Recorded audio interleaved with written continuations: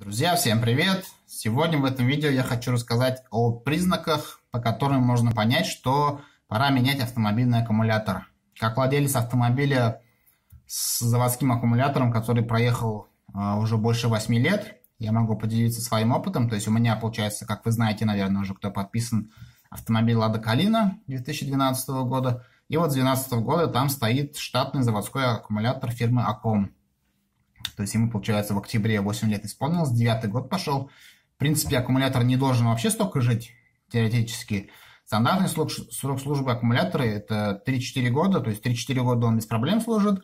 И далее уже все зависит от того, как вы его эксплуатировали, как обслуживали, как следили за, следили за ним. То есть если вы за ним следили, не давали ему полностью разряжаться, то, в принципе, 5-6 лет еще может, ну, 5-6 лет, в принципе, считается, что предельный срок службы аккумулятора. Далее это уже лотерея как повезет. То есть может он сдохнуть через 5-6 лет, может еще сколько-то прослужить. Но уже с каждым годом, получается, его состояние ухудшается, естественно. Теперь как же понять, что пора все выкидывать на свалку аккумулятор и покупать новый? А, летом, в летнее время, в теплое время года, принципе, требований к аккумулятору особых нет. То есть даже полностью убитый аккумулятор, его хватает, чтобы машину завести, чтобы начать ехать. Соответственно, когда вы едете уже, аккумулятор подзаряжается от генератора. И, соответственно, главное, чтобы машина завелась. Дальше уже как бы от генератора работают у вас фары, освещение, там, музыка и все остальное. Вся аппаратура электронная. Но все меняется, когда приходят морозы. То есть у нас, получается, есть определенная емкость аккумулятора, есть его заряд. Как только начинает на улице холодать, это все падает. То есть заряд падает, емкость аккумулятора уменьшается на морозе. И, соответственно, чем ниже температура, тем хуже становится ситуация. Соответственно, аккумулятор, который в летнее время спокойно заряжал, маш... Э, заводил, вернее, машину, зимой в один прекрасный день может вас подвести. То есть вы выходите на улицу, на улице, там, к примеру, минус 15, похолодало, только вчера машина исправно заводилась, ехала. Вы выходите, получается, заводите автомобиль, вставляете ключ, получается, поворачиваете. И чувствуете, что стартер очень вяленько крутит, получается, коленвал, то есть машина заводится с трудом. Может не с первого раза завестись, может еле-еле крутить, но завестись в итоге. В самых худших ситуациях, когда, например, на улице вообще там минус 20, минус 25 стало, вы просто выходите, поворачиваете ключ, и аккумулятор, вернее стартер, никак не реагирует на это. То есть у вас, получается, грубо говоря, за ночь полностью сел аккумулятор.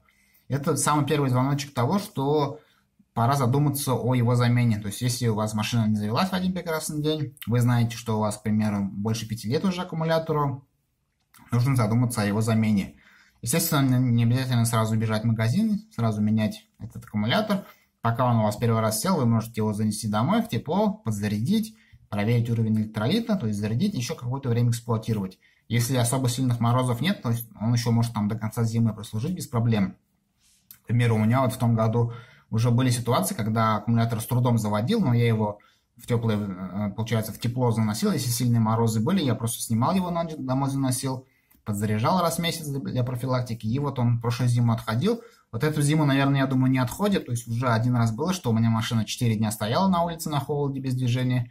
Холод-то был там даже минус 10 синее было, по-моему. То есть не сильно-то холодно было.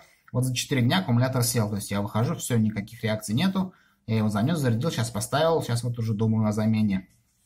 То есть, ну, до последнего я это тянул, сейчас уже приходит понимание, что пора. А, теперь вопрос, а, как же продлить жизнь, жизнь аккумулятору? То есть, по замене понятно, то есть он у вас остарился, вы можете, все, он перестал у вас исправно заводить машину, вы чувствуете, что уже пришел его конец. Вы старый аккумулятор не выкидываете, его можно сдать. Обычно в магазинах, на авторынках его принимают там за 500, за 700 рублей можно старый аккумулятор сдать в обмен на новый. То есть вам делают скидку, вы покупаете новый. Далее, вы купили новый аккумулятор, поставили его на машину. Теперь вопрос, как же продлить его жизнь? То есть вот у вас печальный опыт уже есть. Первый аккумулятор у вас сдох, к примеру. Теперь вы купили новый, вложили денег и думаете, как же продлить его жизнь, чтобы он максимально дол- долго проработал исправно. Ну, во-первых, самое главное, что ухудшает жизнь аккумулятора, это сильный разряд. То есть нельзя допускать полного разряда аккумулятора. Обычно это бывает, если у вас аккумулятор новый, он может разрядиться, если вы, к примеру, забыли выключить фары. То есть фары забыли выключить, оставили на ночь. Э, летом, в принципе, может полдня спокойно машина стоять, за полдня даже она не разрядит аккумулятор, его можно завести. Зимой пару часов достаточно, чтобы у вас габариты остались включенные, чтобы полностью закончить энергию аккумулятора. Соответственно, вот эти вот полные разряды, они не очень полезны, они плохо сказываются на ресурсе батареи. Далее, что еще, как еще улучшить э, срок эксплуатации аккумулятора? Необходимо его периодически подзаряжать, причем это актуально, э, наиболее всего актуально для тех, кто передвигается в режиме работа-дом. То есть каждый день небольшие поездки с утра завел, минут там 5-10 доехал до работы, заглушил, пошел на работу, целый день машина стоит, вечером опять завел, поехал быстренько там, либо в магазин заехал, либо сразу домой. То есть э, частые, но короткие поездки каждый день, получается, вы катаетесь, но на небольшие расстояния. Соответственно, у вас аккумулятор э, расходуется на то, чтобы машину запустить, но он у вас не успевает зарядиться от генератора, то есть поездки небольшие, машина у вас не, всегда даже прогреваться успевает в таком режиме. Вы приехали, машину поставили, заглушили, опять она стоит, опять аккумулятор потихонечку разряжается, вы завели, поехали домой, опять у вас от не успел зарядиться. То есть постепенно-постепенно его емкость падает, получается, в таком режиме. Соответственно, чтобы такого не было, нужно либо куда-то ехать на трассу, ну, естественно, не специально, то есть, чтобы заряжать аккумулятор, а вот бывает же, куда-то в гости, там едешь еще куда-то к родственникам. То есть, если вы там раз в неделю, раз в две недели периодически куда-то выезжаете на трассу на дальние расстояния, когда у вас машина едет долго, на высоких оборотах, это все компенсируется, в принципе. То есть, от генератора все это восполняется, заряжается, и особо проблем нет. Если же у вас чисто городская эксплуатация, то есть такие короткие э, поездки на короткие плечи, то необходимо уже вручную подзаряжать его. То есть, к примеру, поездили там недели три или месяц, раз в месяц хотя бы нужно в зимнее время, тем более, аккумулятор снимать с машины, заносить домой и ставить на зарядку на длительное время. Лучше всего ставить на зарядку маленьким током, но на длительное время, к примеру, на ночь. То есть с вечера поставили, всю ночь он у вас он подзаряжался, с утра сняли, получается, поставили и поехали.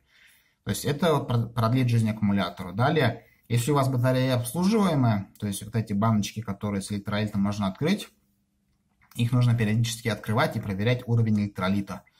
То есть э, обычно стандартная батарея это у нас свинцово-кислотные, получается там свинцовые пластины находятся в растворе кислоты, то есть кислота это электролит получается. И соответственно нельзя допускать, чтобы вот эти свинцовые пластины находились на открытом воздухе, то есть они должны быть полностью погружены в кислоту. Поэтому когда вы заряжаете аккумулятор, когда обслуживаете его, вы эти баночки открываете и проверяете уровень. Там где-то на сантиметр уровень электролита должен быть выше пластин. Если он ниже, либо достиг уровня пластин, пластин то нужно обычно заряж... Э, заливать дистиллированную воду и подзаряжать. Почему дистиллированную воду? Потому что если вы не роняли аккумулятор, если из него как бы искусственно ничего не выливалось, то уровень электролита падает за счет испарения воды. То есть в нем находится электролит, э, вода, получается, испаряется, особенно в летнее время, жару, потихоньку она испаряется, и уровень падает, получается. Поэтому нужно заливать дистиллированную воду туда и подзаряжать. То есть вы воду удалили, получается, зарядили, во время зарядки восстанавливается плотность электролита. И, соответственно, вы можете дальше безопасно эксплуатировать. Ну и такое общее уже требование, необходимо следить за чистотой батареи и за клеммами. То есть у вас батарея стоит под капотом, она э, находится в пыли, в грязи. Периодически надо тряпкой протирать сам корпус батареи и клеммы. Клеммы еще можно дополнительно смазывать только проводящей смазкой.